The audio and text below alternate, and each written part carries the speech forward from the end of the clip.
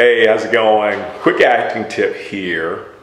So, one thing I never really was told when I was taking acting classes and when I was like really starting to get to being an actor, one thing nobody ever told me, they mentioned it, but they never told me, uh, like in depth, how important it is to your career, to your life.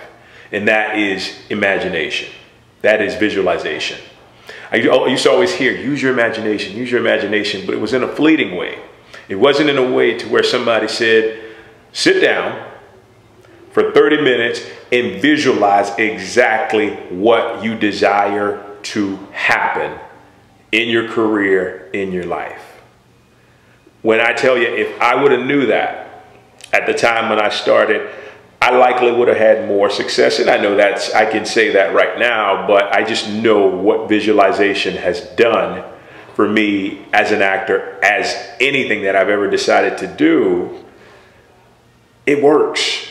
And as an actor, you got to do this every single day. You have to take 30 minutes and lay down, get quiet, close your eyes, and see yourself on that red carpet. You got to see yourself in front of that camera.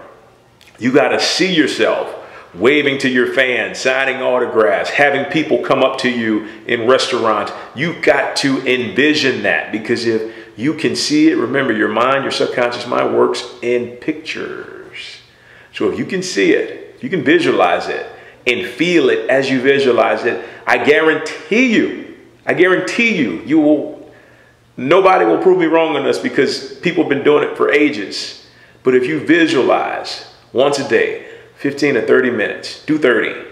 You, my dears, will see your success come to pass. You will see the visions in your mind become your reality. Trust me on this one. This is like one of the best things not only actors and actresses and performers, but anybody in life can do. Choose to visualize and make time for it just as much as you make time to submit for roles. Talk soon. Take care.